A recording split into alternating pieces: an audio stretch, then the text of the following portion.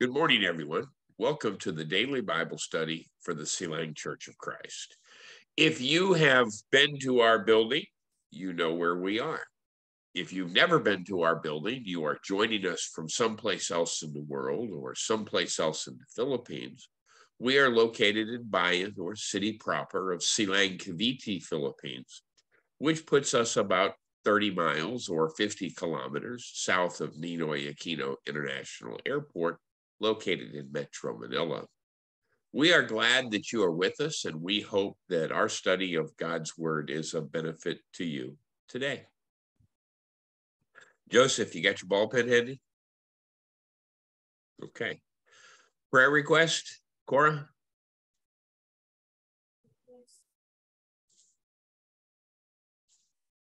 You're on mute, ma'am.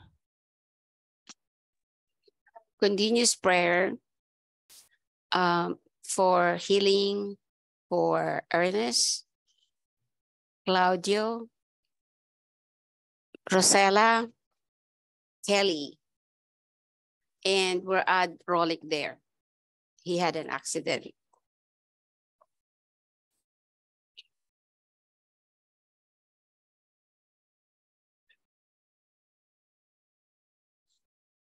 Jesse, good morning. Good morning, sir. You sit Uh, next. Request come out? My my prayer request is good Sit. health for me, good Sit health for my mother, more understanding, and that's all. Okay. Uh, Miss Gladys. Um, eh, good morning, sir. Good morning to everyone. My prayer request is continue healing for my aunt and comforting my auntie. Uh, but knowledge and wisdom for my kids and protection for everyone. Thank you, sir. Okay. Miss Giselle, good morning. Uh, good morning, sir. Good morning to everyone. Um, my prayer request is um, thanksgiving to all the blessing, uh, more wisdom and knowledge because I failed, sir, on the uh, interview. Uh, I mean, and uh, enlightenment for my in-laws. Okay. Miss Wilma, good morning. Uh, good morning, sir. Um, continuous prayer for my sister-in-law. How's she doing today? Uh, she's good, sir. Okay. Mary, good morning.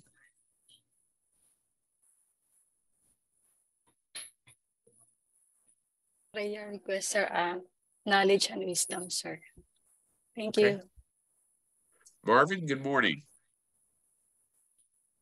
Morning, everyone. A prayer request still for my teacher, Abby, uh, continuous healing for her. And as per Kuya Rolik, uh, we still praise God that He never um abandoned him. His uh, he still uh, he doesn't have major injury, so still praise for that. Okay. Fred, good morning. Good morning. Yes, I have, um, with Beverly, we have our second Bible study uh, at one o'clock today. So I want to Okay. keep her in, in our prayers. Okay. By the way, Fred, uh, you're aware that uh, Mary and Jesse were baptized this week, right? Uh, yes, Mhm. Okay. Very good. congrats, yeah. Miss Vanessa, good morning. Good morning, sir. Good morning, everyone. Good morning, Ma'am Cora. Uh, sir, as always, Thanksgiving and thankful for the great the protection and guidance for my family, especially for my mother and my sister, and for the and for everyone here, sir, in our congregation. Okay.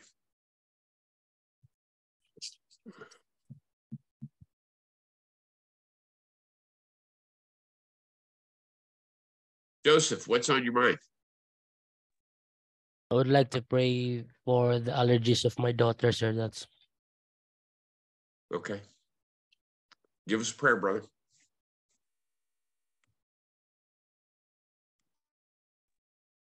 Let's bow our head. Kind and gracious Lord, you are the creator of all things, the author of life, and our loving Father. We thank you for your faithful presence in our lives, and we thank you for the word of God. We also have special prayer, prayers, O Lord, especially for Mom Cora. Prayer for these people, healing for them, for our pre our preacher Sir Ernest, and for these people, Claudio, Rosella, Kelly, and especially to our brother Rolik. He had an accident this day. We hope that he will be better, O Lord. For brother Jesse, he asked for good health for his mother and for him. For Sister Gladys, continuous healing for her aunt, O Lord. And she asked also for the knowledge and wisdom for her kids.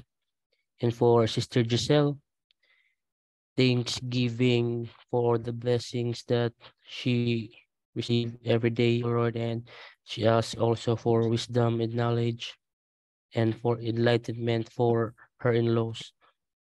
For Sister Wilma, continuous healing for her sister-in-law, Lord. For Sister Mary, she asks for knowledge and wisdom and also, O Lord, protection for our brother Marvin. She asked for the healing for his teacher, Abby, O Lord. Always provide a good, a, a- good health. And for Sir Fred, a successful second Bible study, O Lord, that he about to conduct this day for Sister Vanessa. She asked for the protection, guidance, especially for he, for her mother and her sister, and also we wanted to thank you for all the blessings that they received. I also pray for you, Lord, for the health of my family, especially to my daughter, she, her allergy, and may you give always a protection to my family, Lord. We ask this in the name of Lord Jesus Christ. Amen. Amen. All right, everybody. We have kind of finished our overview of Hebrews. Now let's take a look at the text. Uh, open to Hebrews chapter 1. Hebrews chapter 1.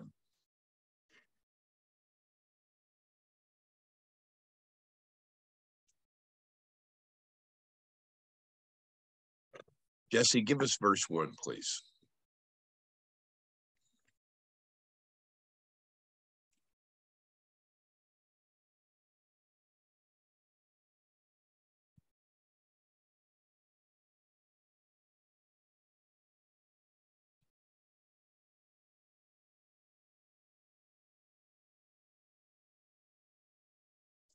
Jesse, you're muted, brother.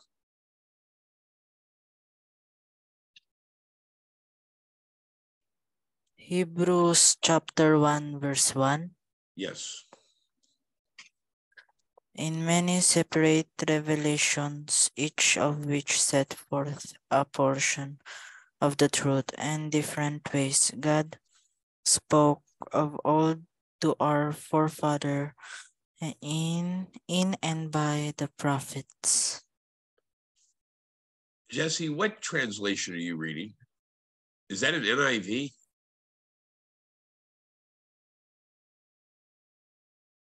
Amplified translation. Okay. Uh, I like the ESV better than the Amplified. Amplified's not a bad Bible; it's a good translation, but I like the ESV better. Uh, Joseph, give us verse two, please. Thank you, And Ma. verse and verse two. But in these last days, he he has spoken to us by his son, whom he appointed the the heir of all, of all things, through whom also he created the world. Okay, verse three, Gladys. And verse 3 He is the radiance of the glory of God and the exact imprint of his nature. And he uploads the universe by the word of his power, After making purification for sin, he, he sat down at the right hand of the majesty on the high. Okay. In what ways, according to Hebrews chapter 1 and verse 1, at many times and in many ways, God spoke to our fathers by the prophets. How are some of the ways that God spoke to the prophets? Jesse?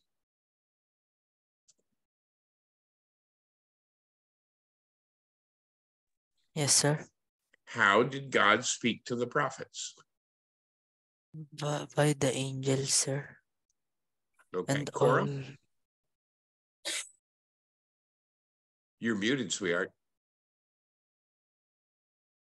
Are are you asking for like Old Testament? Yes. Or- Well, that's apparently what is being referenced in Hebrews chapter 1 and verse 1. I would say that um, God speaks to the prophets uh, through the clouds. Okay. Joseph, Sir, how did God speak to the prophets? List, give me one of the ways. Through dream, sir. Dream. He did. Who said that? Very. that's a good answer. Dream. That is one. Yes. Joseph, give me one. through um message. Through message. Okay. Gladys, Also, I know, sir, dreams, sir. dreams only. Okay. Yes, sir. Giselle? vision, sir. Vision. Visions. Yes. Very good answer. Good answer, Jesse. Giselle? Uh, sir, by the rock. Okay. Uh, by Wilma?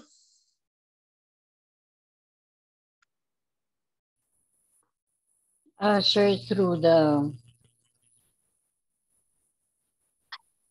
through nature. Through nature. Okay. Mary, you gave us an answer. Marvin? Through the legs, sir. Legs. Plagues. Plagues. God spoke through the plagues. That's true. Marvin? Uh, just like um,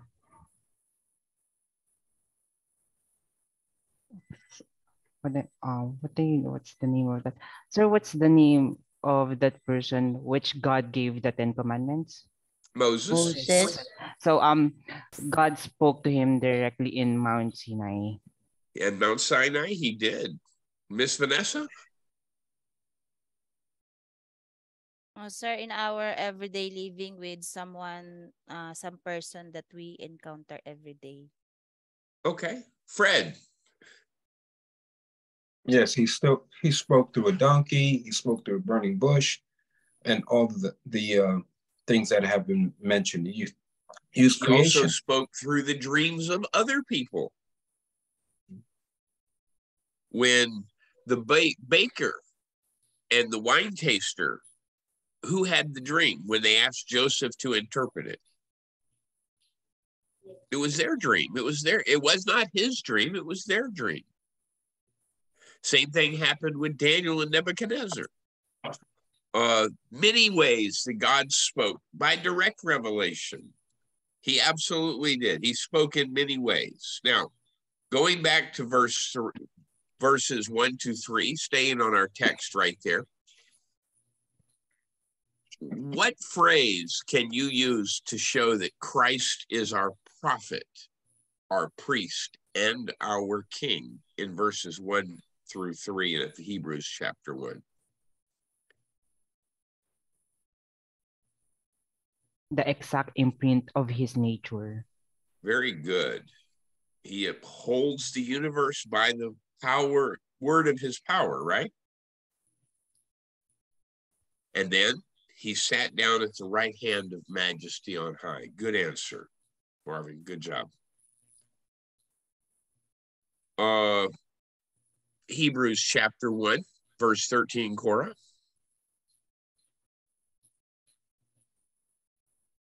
Hebrews chapter 1, verse 13, it says, And to which of the angels he has he ever said, Sit at my right hand until I make you enemies a footstool of your foot feet. Until I make your enemies a footstool for your feet, For your right? feet. Mhm. Okay. Uh, how exactly are the enemies of Christ going to be made his footstool?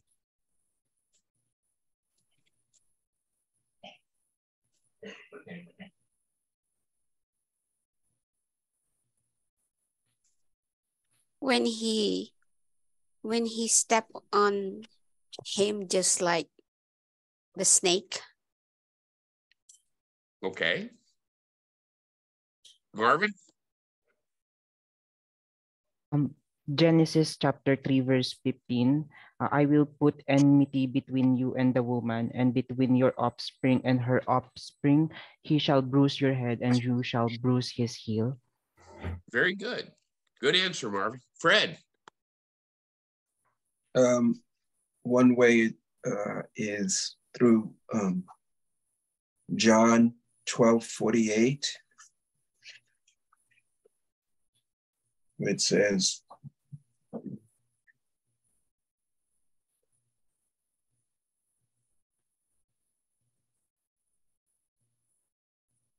Yeah.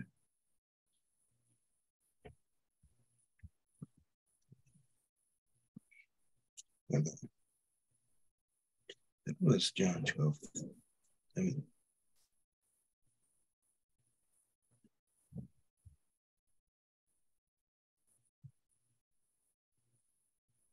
let's see it. Come back to me one one moment. Okay. Wilma?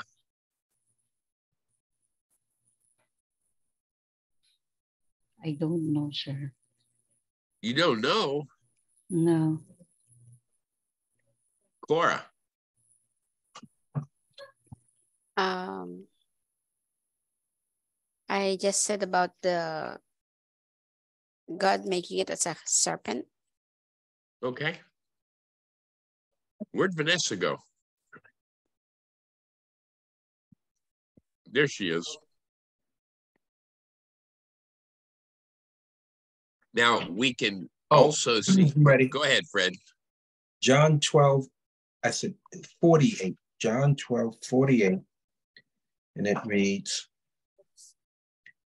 um, There is a judge for the one who rejects me and does not accept my words. That very word which I spoke will condemn him at the last day. Okay. So Uh, through God's word, through God's Absolutely word. true. So God's word will, they will be placed as his footstool under his rule. Um, we just got done reading Hebrews chapter one and verse three, right? We can also look at uh, Matthew chapter 28, uh, verses 18 through 20. We can look at Mark chapter 16. All authority has been given to God. Go ahead. 28 what? 18 to 20.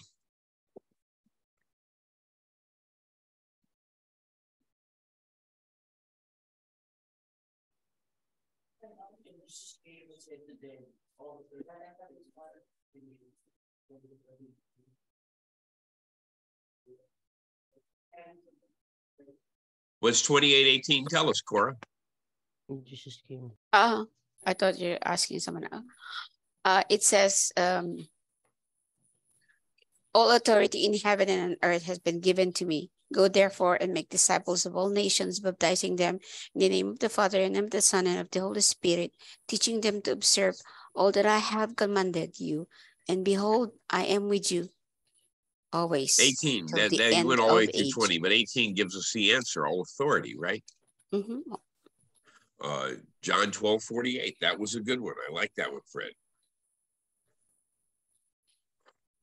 Uh, go to Hebrews chapter 2. Hebrews chapter 2.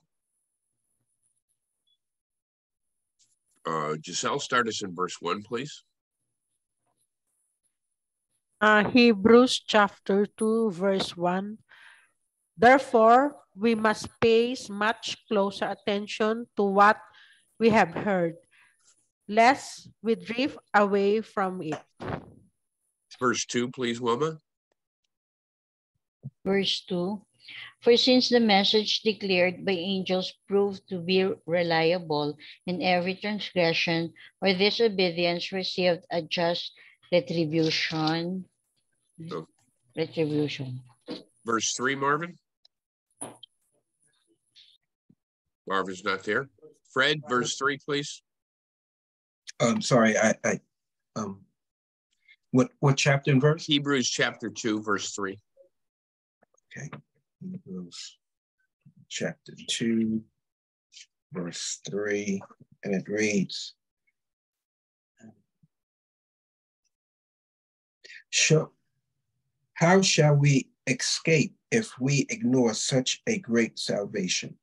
This salvation, which was first announced by the Lord, was confirmed to us by those who heard who heard him. Okay. Verse 4, Vanessa. And verse 4 While God also bore witness by signs and wonders and various miracles and by gifts of the Holy Spirit distributed according to his will. Okay.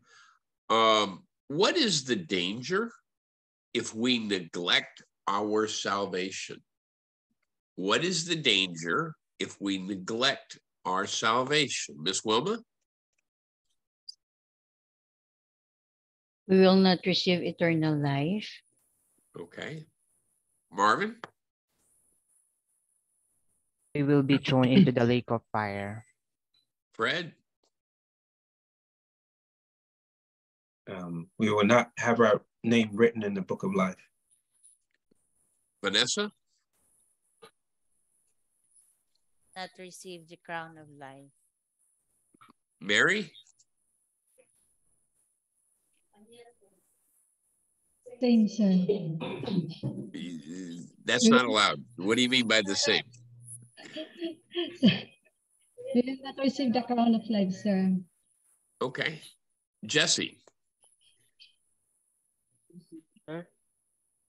What is the danger of neglecting our salvation? Hebrews chapter 2, verses 1 to 4. Um, we will be perished, sir. Say it again. Speak up, please. Perished, sir. Okay. Cora? Perish. And our salvation, sir.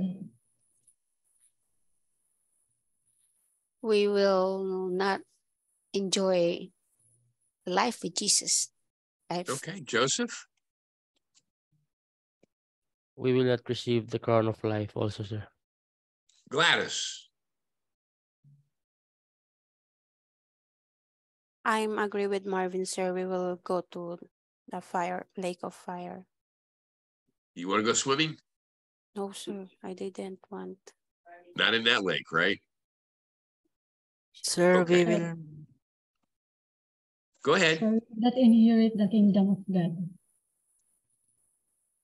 Okay. Giselle? Sir, you will not receive the crown of life. Okay. Now there's something we missed because it came it comes directly from the text. Lest we drift away.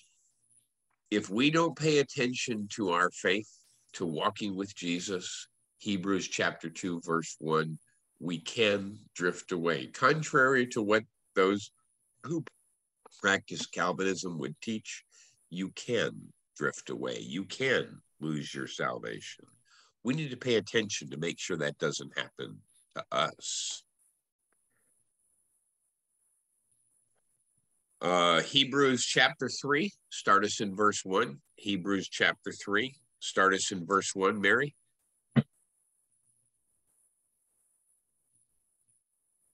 Therefore, the holy brothers, you who share in a heavenly calling, consider Jesus an apostle and high priest of our confession. Okay, verse 2, please. Jesse?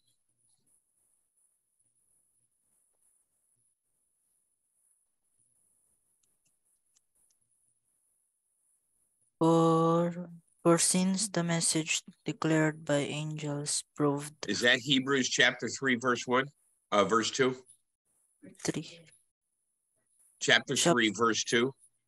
Okay. Who was faithful to him who appointed him, just as Moses also was faithful in all God's house. Okay. Verse 3, Cora? Verse 3 it says, For Je- Verse 3 it says, For Jesus has been counted worthy of more glory than Moses, as much more glory as the build, builder of a house has more honor than a house itself. Okay. Verse 4, please. Joseph? In verse 4, for open parenthesis, for every house is built by someone, but the builder of all things is God, close parenthesis. Verse 5, please. Gladys? Verse 5 Now Moses was faithful in all God's house as a servant to testify to the thing that were to be spoken later. Okay. And verse 6, Giselle. And verse 6 But Christ is faithful over God's house as a son, and we are his house of indeed. We hold fast our confidence and our boasting in our hope. Okay. So, based on Hebrews chapter 3, why is Jesus Christ worthy of more honor than Moses? Giselle?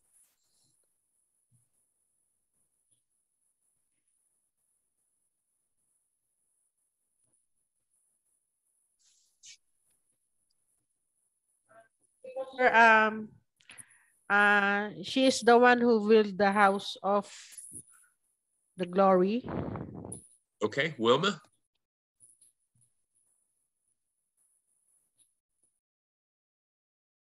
You're muted, Wilma. For Jesus has been counted worthy of more glory than Moses. Why? Mm. Sir, because maybe Jesus is greater than Moses. Jesus Marvin? is not a servant, sir. He is the Very good, Vanessa. He's not a servant in the house. He's the Son of God. he's the builder of the house, right? What now when they refer to the Sir. house, what are they referring to? Go ahead. Somebody's who said it? Go ahead, He's- Jesse. Sir, Jesus is the head of the church. He's the foundation. Jesus is the head of the church. That's correct. Cora. You're muted, sweetheart. What's the question? Why is Jesus worthy of more honor than Moses, according to Hebrews chapter 3, verses 1 to 6? Well, I think because he's the builder of the house or the builder of the church. Okay, Joseph? Sir, Builder of all things. I sorry. Okay. Fred, What's the question? why is Jesus worthy of more honor than Moses? Because he's deity. Okay.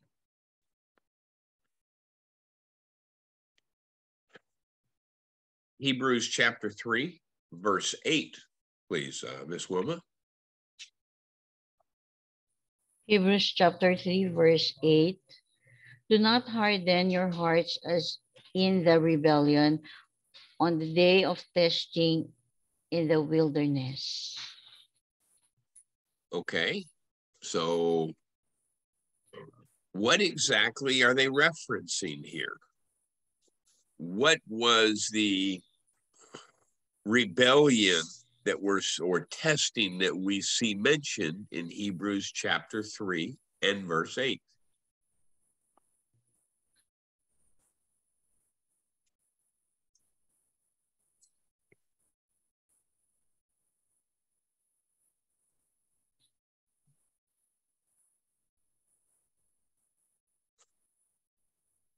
Fred?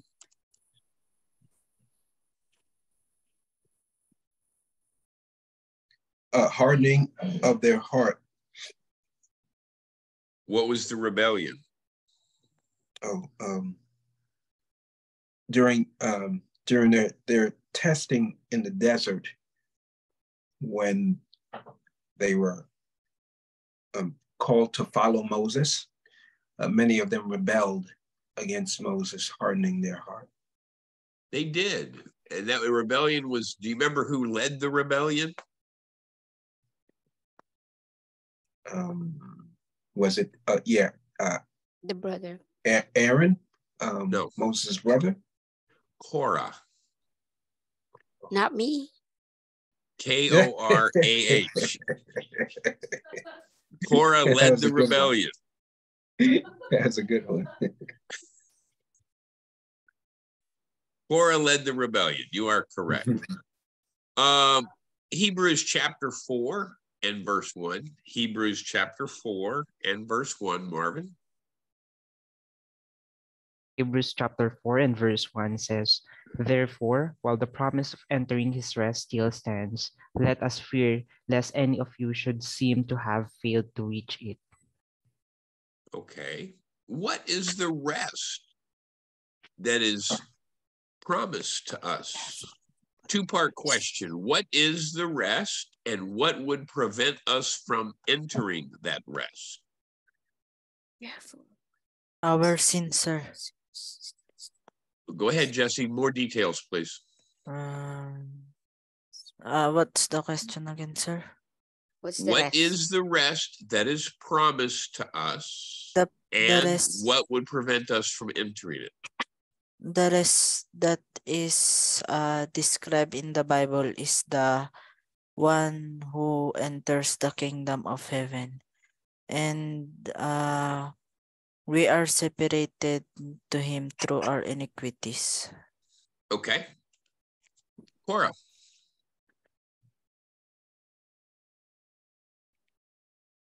It says the promise of entering his rest still stand. Entering into entering to righteousness and it will separate us because of our sin or iniquities. Joseph, Sir, what is the rest and what would prevent us from entering into that rest? I sir. Okay, Gladys.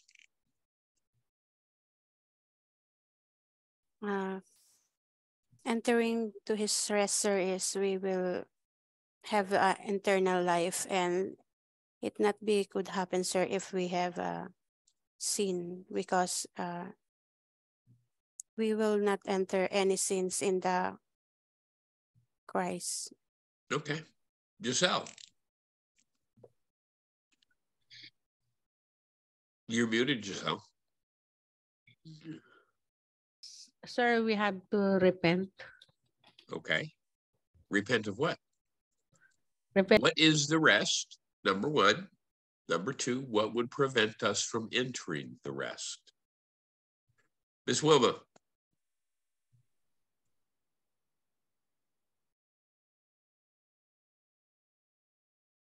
You're still muted, Wilma. The obedience, sir. Okay. Disobedience, that would prevent us from entering. That's true. Marvin? The rest is the promised land that God has promised to us, and we uh, we we will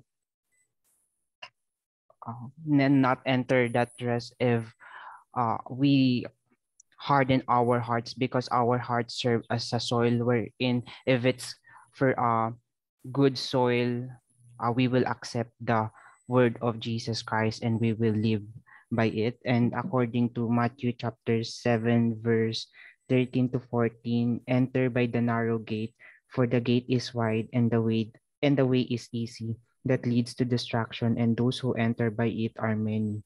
For the gate is narrow and the way is hard that lead that leads to life, and those who find it are few. Okay. Fred? Well, will um, prevent us from entering What what is the rest?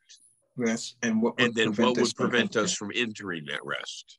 The, the rest is heaven, and what will prevent us is is is um, disobedience.